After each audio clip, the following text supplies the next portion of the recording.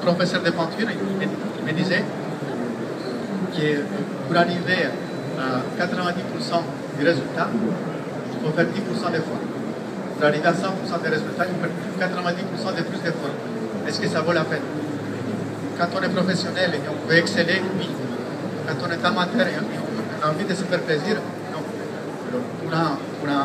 Avec un boîtier de, de 400-500 euros et des objectifs de, de 600-700 euros, on peut faire des photos aussi bien.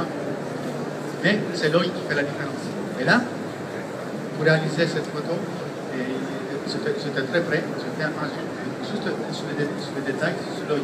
Sinon, c'est l'éléphant en entier, l'hippopotame en entier qui est dans la boue, inintéressant. Inintéressant, on aurait une passoire, sans rien.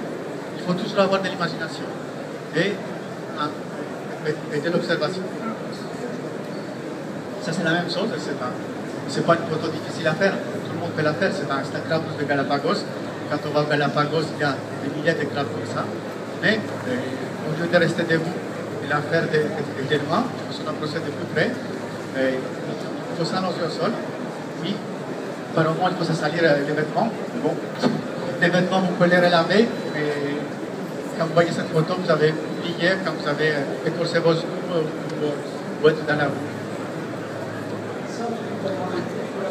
Là, on la prise de vue est intéressante. Sur cet exemple, c'est une bête sur des Galapagos, sur un certain angle, et pendant quelques, quelques, quelques secondes, elle plisse les, les, sourcils et ça forme un cœur. On peut faire des photos aussi au, au macro, mais même sur des animaux qui sont. Là, c'est un petit, c'est un iguane, un iguane.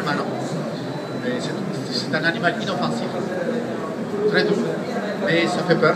Quand on les voit comme ça, on dit un monstre préhistorique, mais il est très doux, il bouge pas. Et là, je fais une photo sans macro, et, j'ai voulu faire ressortir ce qui m'intriguait vraiment, c'était les roses, on dirait du, minéral, des caverne, on dirait euh, de la terre, on dirait de la rose qui ressort.